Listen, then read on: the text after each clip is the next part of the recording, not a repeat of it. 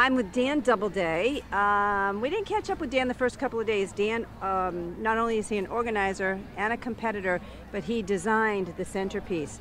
So he has been very, very busy on the centerpiece. We didn't catch up with him the first couple of days. So here we are. Dan, you have, um, you know, nine incredible sculptors that you're competing against. Joby's two-time. And what are you going to do differently that, um, you know, something different or powerful over the top to win this competition?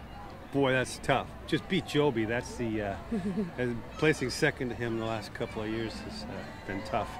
Um, at this level, the idea is the most important thing. I don't know. Everybody thinks they have a great idea and their piece is the best, but uh, you never know. You just never know.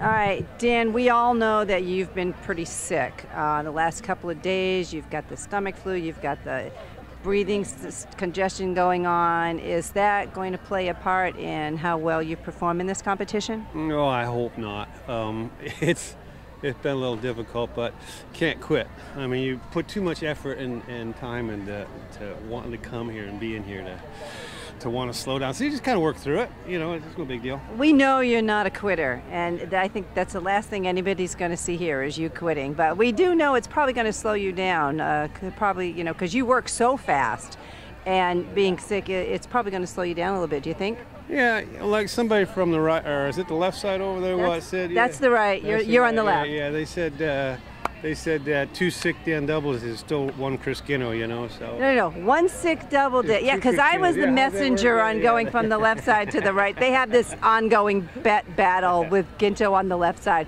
and he said tell them even with double Doubleday sick we're still going to beat you and their response was one sick Doubleday is two one sick Doubleday is two healthy gintos yeah that's it i guess All right, well, I think you kind of get a general idea of how strong a competitor Dan is when they have comments like that, and we're really looking forward to seeing what you do, Dan. Thank you. Yeah, I'm looking forward to it also.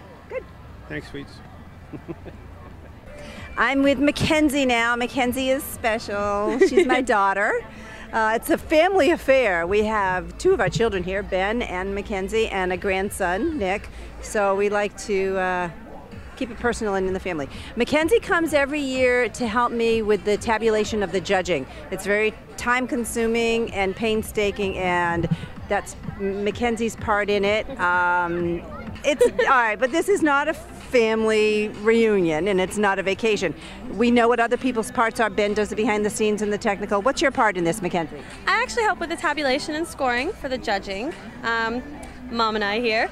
We um, put together all the packets for the judge for the sculptors to judge each other's work, and then we tabulate all the scores and we find out who won. And then we give a lot of money to the winner. With any mathematical errors ever? Um, that's why we double check each other's work.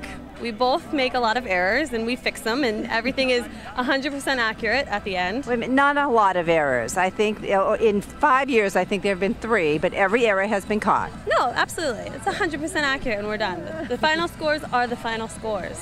The scores are double checked and triple checked, and there is also another party involved that watches everything, somebody from the Revere Beach Partnership, to uh, confirm the adding, the tabulating, and the results. Yep, there's a lot of calculators used. Yeah. well, thank you for your part in it, Mackenzie. Absolutely. I love, I love it here. thank you.